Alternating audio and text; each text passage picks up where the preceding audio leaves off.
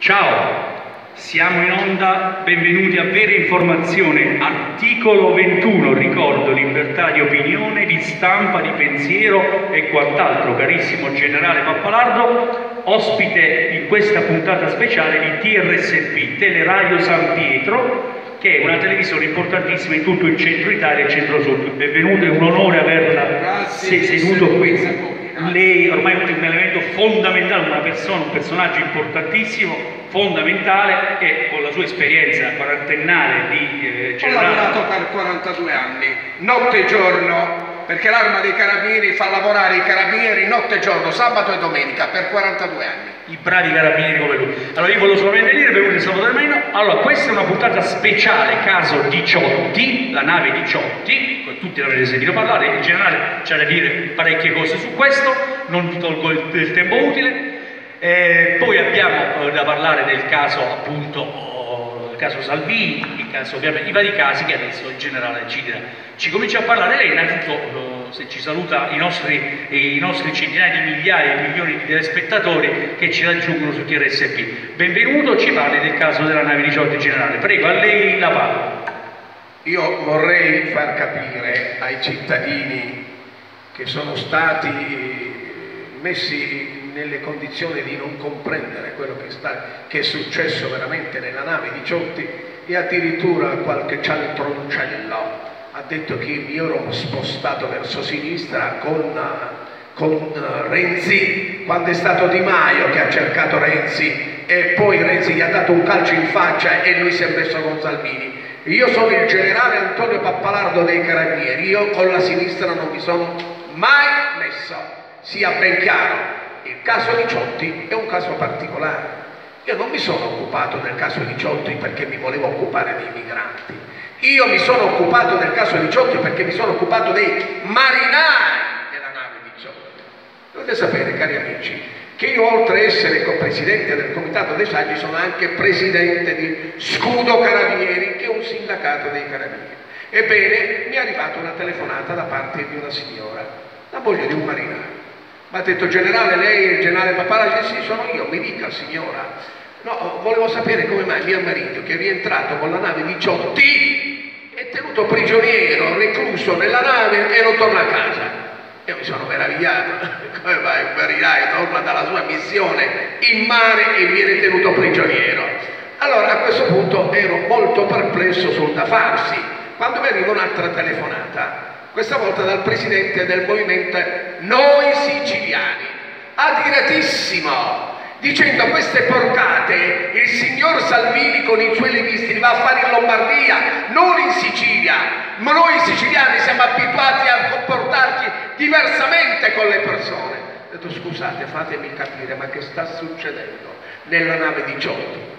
E mi hanno spiegato a larghe linee, fatevi una denuncia, un esposto che io possa leggere prima di scendere da Roma e venire a Catania. Mi hanno fatto un esposto denuncia in cui chiaramente era ed evidente il reato di sequestro di persona.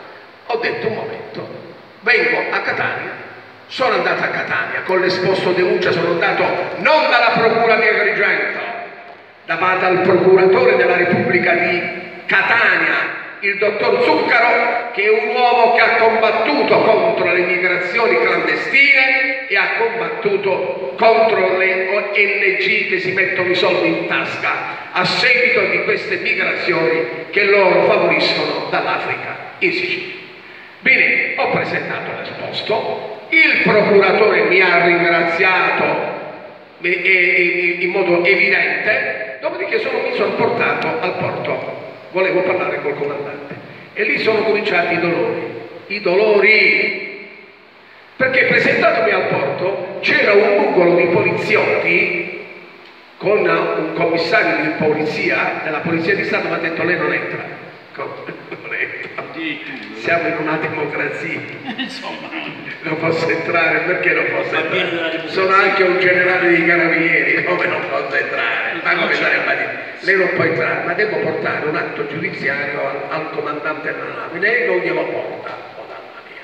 ancora lei insiste. Ma allora faccio una cosa, mi faccia parlare al telefono col comandante. Se lui dice che non mi vuole ricevere, il caso è chiuso. Ma se lui mi vuole ricevere, lei mi fa passare. No, lei, io non faccio alcuna telefonata. Immediatamente mi sono fatto dare carta e penna e ho preso il nome del vice questore e del commissario della Polizia di Stato. Mi denuncia a tutte e due e me ne sono andato. Fatto qualche centinaio di metri ho visto capitaneria di porto. Sono entrato e ho incontrato alcuni ufficiali della Marina e ho detto agli ufficiali della Marina come mai non posso parlare col comandante? Ma lei che sta dicendo, generale? Ma che stiamo scherzando? Siamo in una repubblica democratica.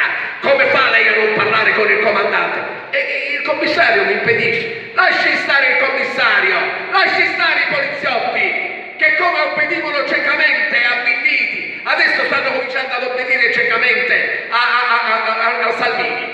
Lei può andare? Beh, sono, mi sono rincamminato, ho attraversato il posto di blocco, il commissario era notevolmente confuso, mi sono presentato davanti alla nave dove c'era il vice comandante, c'erano gli ufficiali della Marina, benvenuto generale, mi hanno messo la mascherina e sono salito su.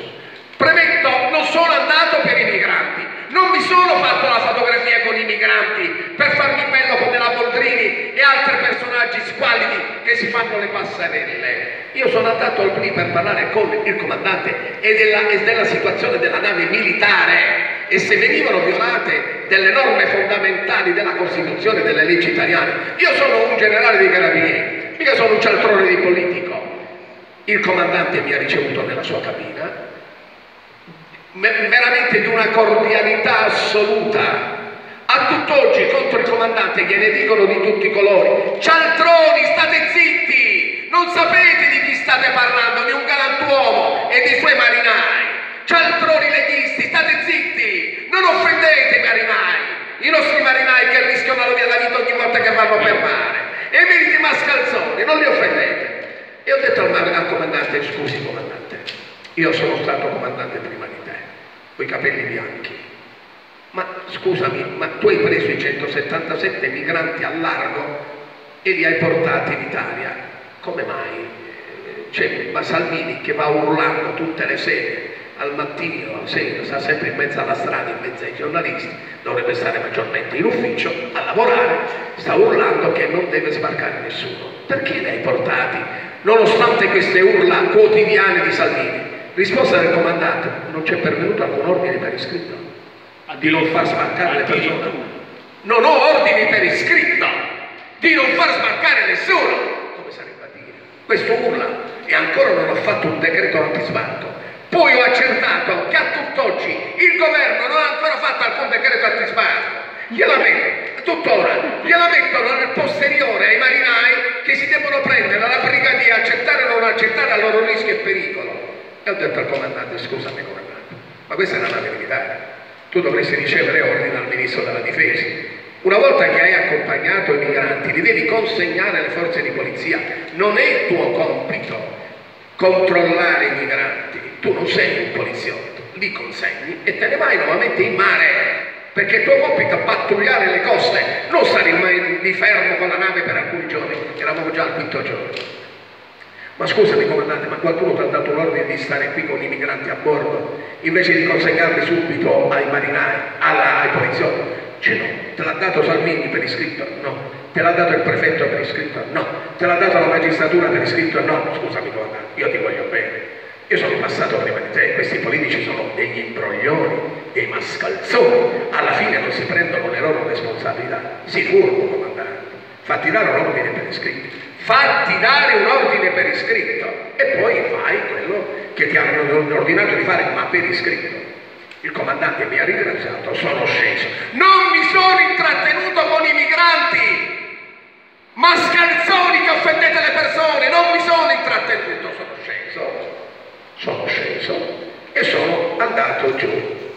I giornalisti già venduti a Salvini e compagni mi sono piombati addosso ma come mai lei è entrato nella nave? Chi l'ha autorizzato? Ma lei ha parlato col comandante? Che cosa le ho detto? Il loro terrore è che io parlassi col comandante. Ecco perché non volevano che io ci parlassi. Pappalardo che dice la verità e non ha paura di nessuno. Se parla col comandante scopre le, gli imbrogli di Salvini. E a questo punto ho detto io a voi non vi dirò niente. Che vi dico? Quello che mi ha detto il comandante. Lo riferisco ai carabinieri. Toglietevi dai piedi. Al che, mentre mi allontanavo, un altro giornalista, o pseudo giornalista, mi ha avvicinato e mi ha detto, caro generale, che è venuto a fare? Tanto la nave è bloccata con tutta la gente che c'è sopra e non li fa scendere nessuno, perché qui ormai in Italia, attenzione alle parole, qui ormai in Italia comanda Salvini, Di Maio non conta un tubo, Conte non conta un tubo, il ministro della difesa non conta un tubo, conta solamente lui. Ho detto, ma lei che vuole da me? Io ho fatto il mio dovere di generale dei carabinieri. Ho denunciato un fatto che viola l'articolo 13 della Costituzione e l'articolo de, del codice penale che vieta il sequestro di persona, perché la polizia, eh, lo stesso ministro, entro 48 ore devono riferire alla magistratura qualsiasi privazione di libertà. Noi non siamo ancora nel, in, nei paesi dittatoriali, siamo ancora in Italia dove la magistratura è solo la magistratura che priva della libertà i cittadini e gli stranieri e non il ministro dell'interno.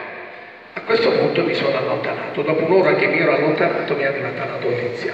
Sono tutti smarcati perché il comandante aveva chiesto l'ordine per iscritto. Si sono fatti addosso perché in quel momento si prendevano le loro responsabilità e li hanno fatti andare via, mascalzoni. E mi parlate male della Marina Militare. Io ho urlato appena sono sceso dalla nave, viva la Marina Militare, viva i gloriosi marinai che ci difendono lungo le coste, le coste, viva i marinai della Repubblica Democratici che si differenziano da certi cialtroni che già si sono allineati come erano allineati con Minniti. Adesso basta, signori. La dovete smettere di rompere le scatole a un generale dei carabinieri che ha fatto il suo dovere. Cittadini della Repubblica, se siete veramente cittadini, aprite gli occhi e non permettete a nessuno di stare al di sopra della legge.